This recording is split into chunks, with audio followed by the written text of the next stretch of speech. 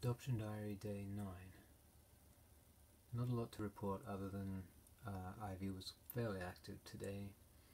Um, but I want to show you this clip from last night. This was 12.05 am, just as I'm leaving the room. Turn off the light.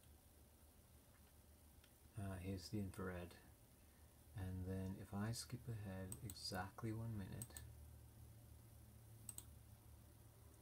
Here she comes out from under the bed, the little booger.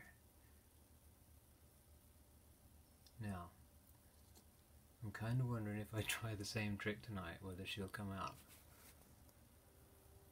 We'll see.